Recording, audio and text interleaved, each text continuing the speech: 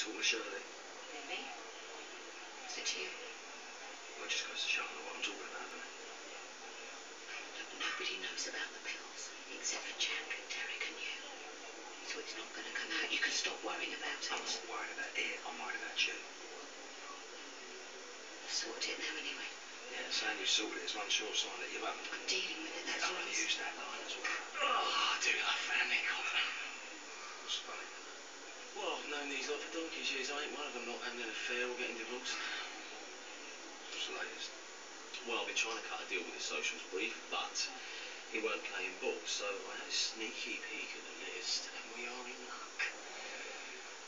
Judge is a Mrs. Mavis Pritchard, as wet and soggy a little doo-doo as ever ate and a sucker for a substitute.